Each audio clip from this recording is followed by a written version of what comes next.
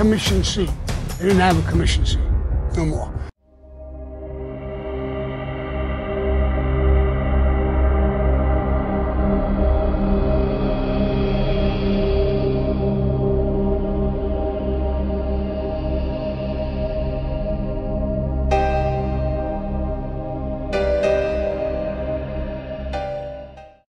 What's going on, folks? JJ here.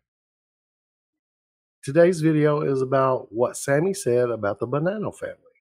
But before we get into it, if you're new to the channel, been here before, you haven't hit that subscribe button yet, please go take a moment of your time, go right down below and hit that subscribe button and notification bell so when I do drop a video, you will be notified. So, Sammy says that it was drugs that got the Bonanno family taken off out of off the commission, lost a seat to the in the commission.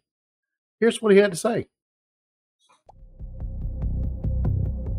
Because they were excessive with it, it wasn't allowed. The Bonanno family was excessive. Three quarters of the family did drugs. The bosses did not put enough pressure on them to stop. So the guys who snuck, and they snuck to use it, they didn't do it openly you couldn't do it openly to, with Paul Castellano.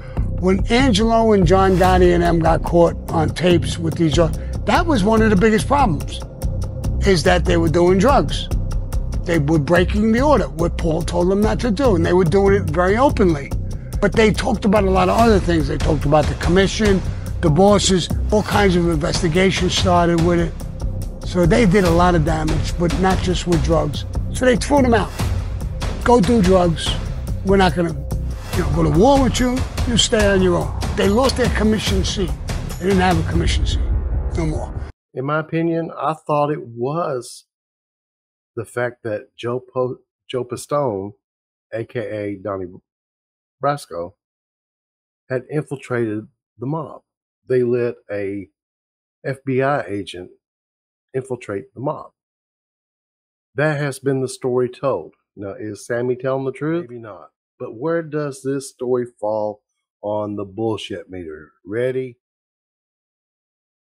100% bullshit again.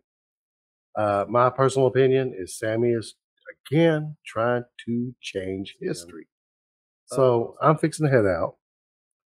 Remember, folks, if you like this video, take a moment of your time, go right down below, hit the like button, leave a comment, um, and leave your opinion if you think the story is legit, possible, or just straight up bullshit. And if you want to support the channel, you can go right down below in the description box.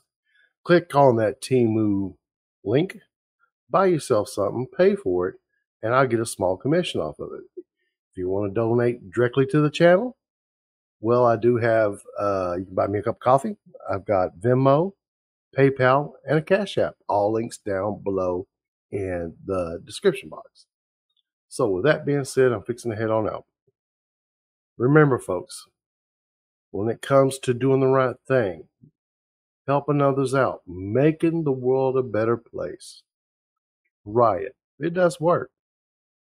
And I'm out here. God bless you all and stay blessed. Bye bye.